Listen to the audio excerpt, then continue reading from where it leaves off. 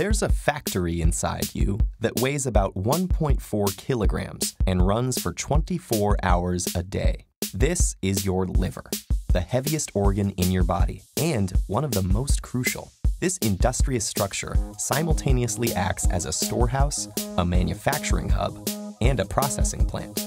And each of these functions involves so many important subtasks that without the liver, our bodies would simply stop working.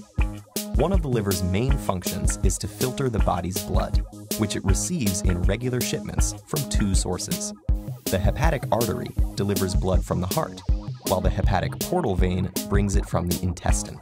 This double delivery fills the liver with nutrients that it then sorts, processes, and stores with the help of thousands of tiny internal processing plants known as lobules. Both blood flows also deliver the oxygen that the liver needs to function. The blood that is received from the intestine contains carbohydrates, fats, and vitamins and other nutrients dissolved in it from the food you've consumed. These must be processed in different ways. In the case of carbohydrates, the liver breaks them down and converts them into sugars for the body to use as energy when the filtered blood is sent back out. Sometimes the body has leftovers of nutrients that it doesn't immediately require. When that happens, the liver holds some back and stacks them in its storage facility. This facility works like a pantry for future cases when the body might be in need of nutrients. But the blood flowing into the liver isn't always full of good things. It also contains toxins and byproducts that the body can't use, and the liver monitors these strictly.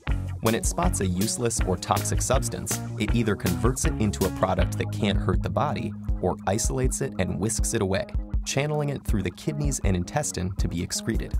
Of course, we wouldn't consider the liver a factory if it didn't also manufacture things. This organ makes everything from various blood plasma proteins that transport fatty acids and help form blood clots, to the cholesterol that helps the body create hormones. It also makes vitamin D and substances that help digestion.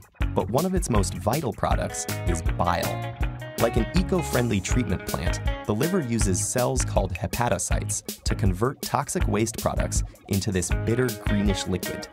As it's produced, bile is funneled into a small container below the liver, called the gallbladder, before being trickled into the intestine to help break down fats, destroy microbes, and neutralize extra stomach acid. Bile also helps carry other toxins and byproducts from the liver out of the body. So as you can see, the liver is an extremely efficient industrial site, performing multiple tasks that support each other. But such a complex system needs to be kept running smoothly by keeping it healthy and not overloading it with more toxins than it can handle. This is one factory we simply can't afford to shut down.